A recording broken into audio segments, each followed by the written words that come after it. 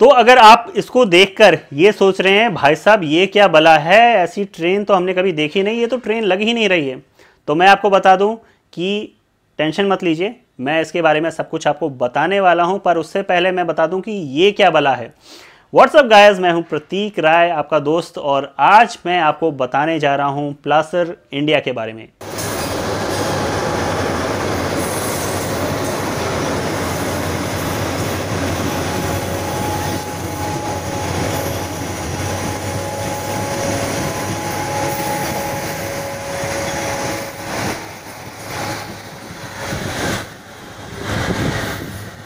वो भी एक दिन था जब फरीदाबाद के स्टेशन पे ऐसी ही कुछ 11 मशीनें लाई गई थी और वहाँ जब वो खड़ी थी तो लोग बस टकटकी लगाए उसे देखे जा रहे थे और उस टाइम पे उसे हरी झंडी दिखाई गई और वहाँ से वो मशीनें जो हैं वो रवाना हुई।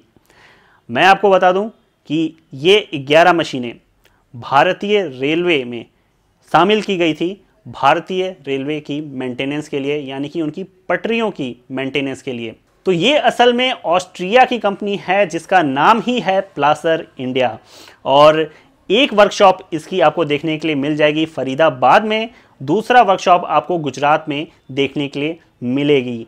और ये काफ़ी काम को आसान बना देती है रेलवे के, जो काफ़ी समय लगाती थी रेलवे जिस काम को करने में, और उन्हें काफ़ी मशक्क़त करनी पड़ती थी। वो सारे काम ये मशीन के आने के बाद चुटकियों में हो जाते हैं। चाहे वो पटरियों को साफ़ करने का हो, जैसे कि आप बारिश वगैरह में देखते होंगे कि थोड़ा बहुत मिट्टी जमा हो जाती है पटरियों के बगल बगल में, या तो जो गिट्टियाँ डाली जाती हैं पटरियों के बगल बगल में, वो बहुत ज़्यादा जमा हो जाती है, उनमें मिट्टी जाके फंस जाती है और बारिश के टाइम पटरियों के बीच में पानी जमा हो जाता है। तो वो सब हटाने का काम साफ़ सफ़ाई का काम, ये काफ़ी आसानी से कर लेती है, साथ ही साथ काफ़ी भारी भारी भरकम सामान, यानी कि खुद पटरियाँ बिछाना ये सारे काम भी ये चुटकियों में कर लेती है और इसकी मदद से पहाड़ियों पर पटरी बिछाना काफ़ी आसान हो गया है।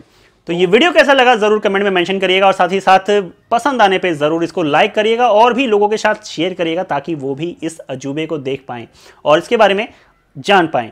साथ ही साथ चैनल को सब्सक्राइब नहीं किया तो नीचे लाल बटन को दबा के सब्सक्राइब कर लीजिए, बेल आइकन को दबाना ना भूलिएगा ताकि नोटिफिकेशन आपको मिलती रहे।